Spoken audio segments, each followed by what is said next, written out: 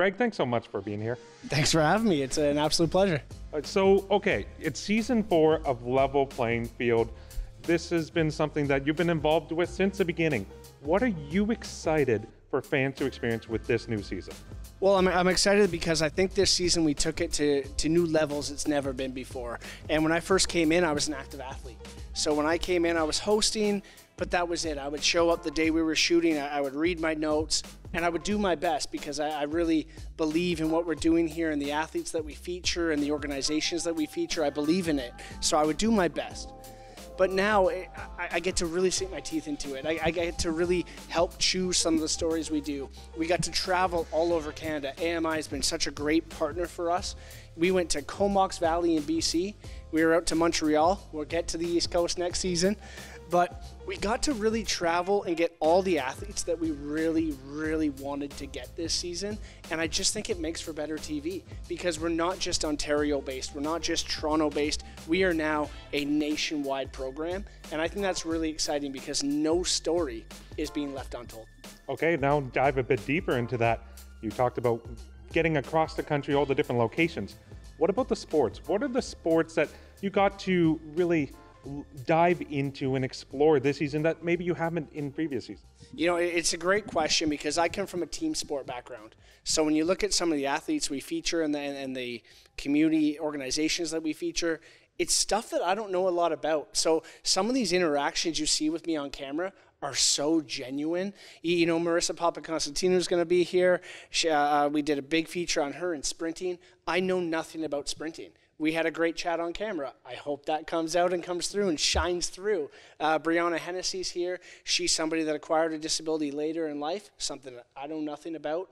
She she is just this kick butt woman who, who is now like a leader in, in her field, and I can't wait to tell her story.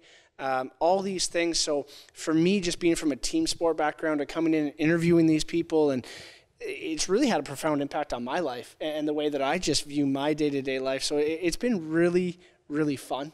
And I've learned so much about the other sports, whether it's sprinting. Uh, Tyler Turner, uh, we went out to Comox Valley and interviewed him. He just came second on the Amazing Race Canada. You know, he's an amazing guy. And almost more than the sports that these amazing athletes and people compete in, it's who they are as people away from their field of play. And that's what we dive into as well. Are they family people? Are they involved in their community? And, and it's a resounding yes, mostly. It's a lot of people that are so connected and have roots all over Canada. And that's what I think shines through. And so, again, you look at Tyler. He is a snowboard champion for the Canadian Paralympic team. But what you don't know is that he's this crazy skydiver that just wants me to jump out of a plane with him five minutes after I land on the ground in BC. And so tune in and find out if I jumped out of a plane with this man. Yeah, I was going to say, don't give the spoilers yet. You got to give the fans something to tune into. Uh, so you kind of talked about it off the top, but how has the show evolved or grown over the now four seasons? Well, again, a great question. I, I think for us, streamlining our process. And I'm just a face, and, I talk to people and I ask crazy questions. But the people behind me, Ted and Matt, they're so passionate about parasport. They're so passionate about helping people grow their brands and become successful. It makes my job easy. I get notes and I get questions and I get sheets with all these details from an amazing team of people behind me that are so into this project. This is a passion project, it's a labor of love, and now we get to share it with the world, and we can't wait. Now, obviously, uh, uh, Ted and Matt, Ted Cooper, the show's uh, producer, and Matt McGurk, the show's director of photography, you're referencing there. In, in terms of what happens next, how do you want to see this show grow, evolve, and where do you want to go next with it? Well, I just want to keep going. Um, there's always, as a lot of people would know with sports, there's always the next person coming. There's always the next superstar. There's always somebody that's pushing the boundaries, doing something that's never been done. And we want to find those people. And so, as we know with sports, it's perpetual motion, it's constantly thriving and evolving. And that's why we need to keep going. And that's why we need season after season after season, is because these stories write them, they don't write themselves, but there's always people coming.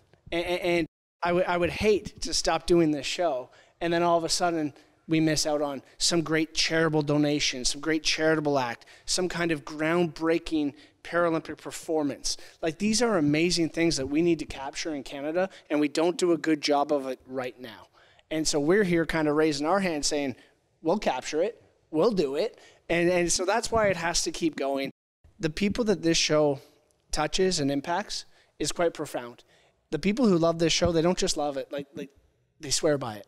And, and the messages I get on Instagram and social media, it, it inspires me to keep going every day because it, it really does change people's lives and it gives hope and inspiration for so many people. Now, I know you're very busy. One last question before you go.